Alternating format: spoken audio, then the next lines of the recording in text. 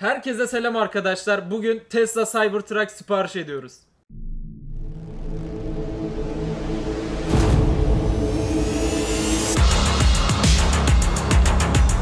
İlk önce Tesla nasıl sipariş edilir? Çok merak ediyorsunuz diyeceğim. Büyük ihtimal kimse merak etmiyordur. Çünkü dolarla arkadaşlar. Fiyat listesi var. Burada da full self driving yani arabayı salıyorsun hadi sür lan diyorsun. Siz hangisini sipariş edeceksiniz derseniz biz en pahalı olanını alalım. Şöyle.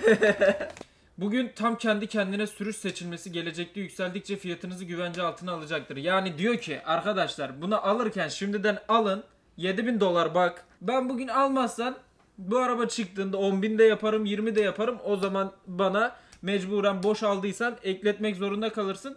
Şimdiden al güzel kardeşim diyor. O yüzden ben de 3 motorluyla beraber bir de tam kendine kendi kendine sürüş ekliyorum. Şu an bize 77 bin dolara geldi arkadaşlar. Bugünkü de diyor 100 dolar yani bizden kapora istiyor. Öyle kuru kuruna herkesin sipariş verebileceği bir şey değil. Yani daha 2021'in sonunda üretilecek. İşte birinciden sipariş veren artık biz kaçıncıyız?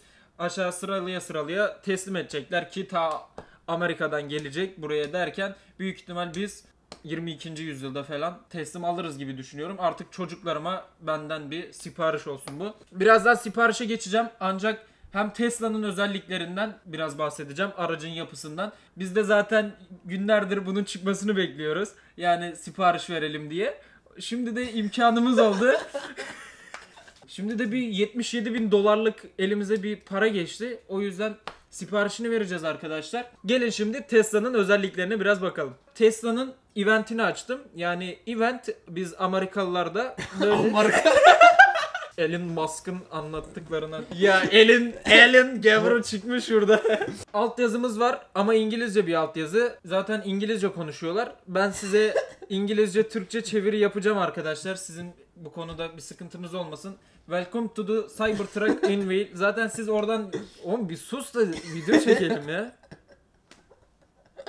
Yeni bir gün aldı. Hepiniz hoş geldiniz diyor. Şu an söyledi. Eee diyorlar. Hepiniz görüyorsunuz kameralar, telefonlar. Yani eventin, davetin herhangi bir tadını çıkaran yok. Herkes telefondan Instagram'a snap atma peşinde. Crowd cheering deli gibi bağırıyorlar diyor. Bu kadar bağırmanıza gerek yok diyor. Burada normal bir araca vuruyordu herhalde. Eğer Elon Musk'ı Emirhan kabul ederseniz bu arkadaş da Ali. Yani çok Elon Musk'ın yakın arkadaşı. Bu kaputa vurdu. Şimdi bir de Cybertruck'ın şimdi Cybertruck'ın kapısına vuracak. Bak o buraya yavaş vurdu biraz. Bangs. Diyor 9 full milimetre metal kapı muhteşem yani. Ultra halt cold rolled. Türkçesini bilmediğim için direkt geçiştirdim. Şimdi cam olayı var arkadaşlar. Çok fazla sansasyon yarattı. Yani bazıları dedi ki bu reklam olayı dedi. Hani kırılsın ki işte herkes desin aa kırıldı falan işte reklamı yapılsın çok duyulsun falan filan. Bazıları da dedi ki yok gerçekten antika dedi yani kırılıyor dedi. Bazıları da dedi ki yani Elon Musk dedi ilk önce alt kapıya vurduğu için orada esnetmiş camı dedi. Esneyince de cam vurunca yukarıdan zımbıldan kırıldı dedi. Öyle bir açıklama yaptı. Üç taraflı bir şey tabii ki Elon abimizin dediğine inanıyoruz. Burada diyor normal bir cam var diyor işte onu gösteriyor araba camı falan diyor. İşte gösteriyor gösteriyor en sonunda kırılıyor falan. Sonra Cybertruck'a geliyor. Burada vuruyor o da kırılıyor. Yani değişen bir şey yok. Elena diyor işte arkadaşı kankisi emin misin diyor atıyorum diyor cama gülleyi. Sonra glass cam sesi diyor. Sonra oh my fucking god. Yani diyor ki yapacağınız vaziyetin içine sokum diyor. Well maybe that was a little too hard. Belki çok sert olmuştur diyor. Yine gülüyorlar, yine kırılıyor yani. Yani böyle arkadaşlar sansasyon yaratan bir olay. Ardından açıklıyorlar işte. Diğer işte traklara benzemiyor, diğer pikaplara benzemiyor. Hepsi işte kare yüzyıllardır beri gelen hepsi pikapların aynı. Biz farklı işte modernizm falan bir şeyler değiştirdik diyor. Harika oldu diyor vesaire. Elektrikli tabii yine şarjından, bataryasından gideceği yoldan vesaire bahsediyor. Yani internet izin verirse sizlere daha fazla şey göstermek istiyorum. Ha, arkasına işte bir ATV sığıyor falan onu da taşıyor gibi bir- birçok özellikten bahsediyor. Ardından Elon Musk gidiyor.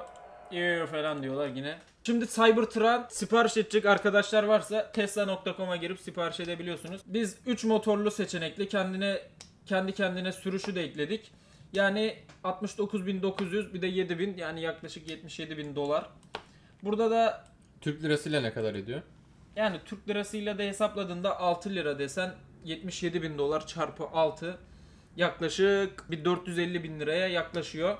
Yani arkadaşlar ülkemizde dolar çok net olmadığı için bu bugün 450 milyar yarın 500 milyar kim bilir kimler var şimdi kalbinde. Siparişimizi vereceğiz. 100 dolarımızı da vereceğiz. En kralı hangisi ise onu istiyorum. Şimdi satın al diyor. Hemen buraya basacağız. Burada hesap detaylarını girin vesaire. Ben hemen kendi adımı soyadımı gireyim. Benim üstüme olsun araç Ali'nin olmasın. Benim cüzdan arabada kalmış ya.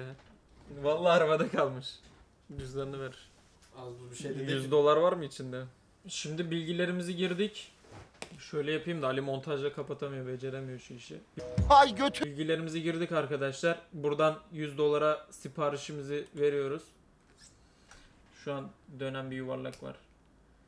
Ödemeniz işleme koyulurken bir sorun oluşmuş ama internet mi gitmiş ne olmuş ya?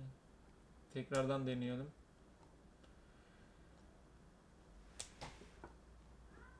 Benim herhalde yurt dışına açık değil mi ama?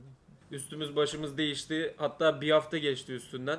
Renault Europa falan aldık. Bayağı bir yoğunluk vardı. Bu Tesla'yı sipariş ederken. Şimdi neden o videoyu izlediğiniz zaman baştakini sipariş veremedik onu açıklayayım. Şimdi Tesla'nın sitesi yabancılara yönelik. Ya 3D Secure işte 3D ödeme yani bu 3D Bankalar Birliği'nin koyduğu bir olay. Yani buradan bir sipariş verdiğiniz zaman bankanızda kayıtlı olan telefona hani kod geliyor 25 30 50 falan. Oraya giriyorsunuz. Ondan sonra sipariş onaylanıyor. İşte o Türkiye'de de bu zorunlu. Bu sitede 3D'yi desteklemiyor yani 3D ödemeyi desteklemiyor. Benim bankam bana kod gelmesini destekliyor. Site kod göndermemeyi destekliyor. Ortada bir karışıklık oldu. Çok fazla uğraştık bir iki saat. Sonradan olayı çözdük. Kart aldık. Papara kart zaten hepinizin bildiği. Şimdi reklamını çok yapmayayım. Ön ödemeli bir kart. Yani ilk önce parayı yükledik içine. Şimdi çekeceğiz. Herhangi bir telefon vesaire yok. Yani bize kod göndereceği bir telefon yok. Şimdi bununla siparişimizi vereceğiz. Bakalım çekecek mi olacak mı daha bundan da emin değiliz yani. Tek denemediğimiz bu yol kaldı. Eğer bu da olmazsa artık başka araçlara bakacağız yani. Şimdi sipariş ver diyorum. Şimdi 100 dolar bir ön sipariş bedeli var. Şimdi onu ödeyip aracımızı sipariş edeceğiz. Çıktığında da artık alacağız inşallah. Cybertruck'la Türkiye sokaklarında belki biraz basarız falan işte jantları değiştiririz. Ses sistemi falan. Cam filmi yok gibi duruyor. Burada ödeme kısmını görüyorsunuz. Buraları fullüyoruz falan sonra full kayıyor bir şeyler oluyor. O yüzden direkt elimle kapatmayı tercih ettim. Şimdi teslim tarihi bugün derken yani siparişi verme için 100 dolar alacağım diyor. Yoksa bugün arabayı teslim etmiyorlar. Türkçe'ye çevirince İngilizce'ye böyle şeyler oluyor. Şöyle tutayım. Bir şeyler döndü.